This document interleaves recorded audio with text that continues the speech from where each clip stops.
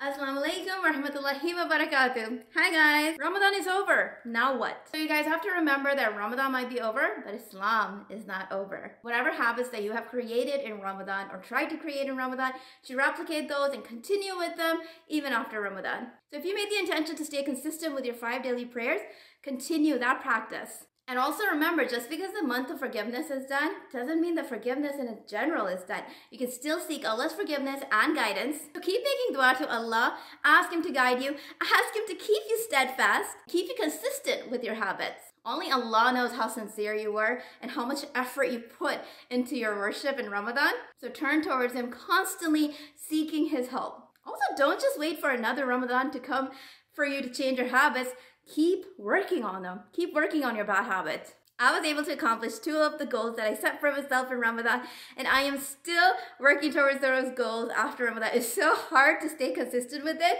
I get it, but we just gotta keep trying every single day. You got this, guys. I believe in you. Till next time, Assalamu alaikum and goodbye.